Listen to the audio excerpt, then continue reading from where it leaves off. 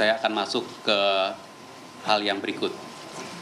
Saat ini juga muncul berita di media sosial unggahan foto-foto dari saudara ED yang merupakan pejabat eselon 3 di Direktorat Jenderal Bea Cukai di Yogyakarta. Terdapat foto unggahan di akun media sosial saudara ED yang dinilai menunjukkan perilaku pamer yang berlebihan dan tidak sesuai dengan kepantasan sebagai ASN Kementerian Keuangan. Terkait dengan hal ini, dapat kami sampaikan bahwa Direktorat Jenderal Bea Cukai melalui Direktorat Kepatuhan Internal dan Sekretaris Ditjen DJBC telah memanggil yang bersangkutan.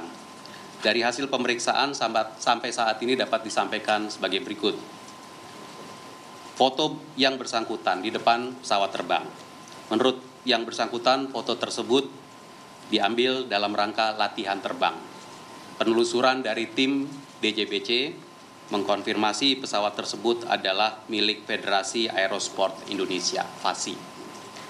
Terkait dengan unggahan foto yang bersangkutan yang berlebihan atau pamer, yang bersangkutan telah mengakui kesalahannya dan berjanji akan memperbaiki.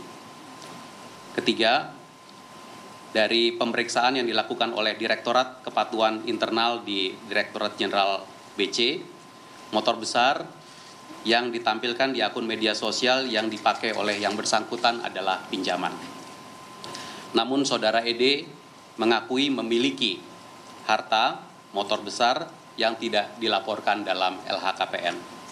Karena itu, saya telah menginstruksikan kepada tim Inspektorat Jenderal Kementerian Keuangan bersama Direktorat Jenderal Bea dan Cukai untuk menindaklanjuti dengan investigasi dan penelitian lebih lanjut atas perilaku, kecocokan harta, dan utang dalam LHKPN dicocokkan termasuk dengan laporan SPT pajaknya serta mendalami pelanggaran etika dan disiplin saudara ED.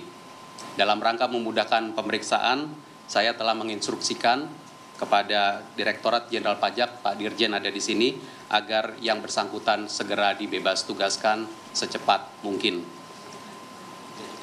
Oh maaf eh, kepada Dirjen Bea Cukai untuk melakukan pembebas tugasan pencopotan dari jabatan. Pak Asko ada yang diupdate di sini? Oke, jadi segera akan dibebas tugaskan karena sampai dengan saat ini uh, belum, tapi saya minta segera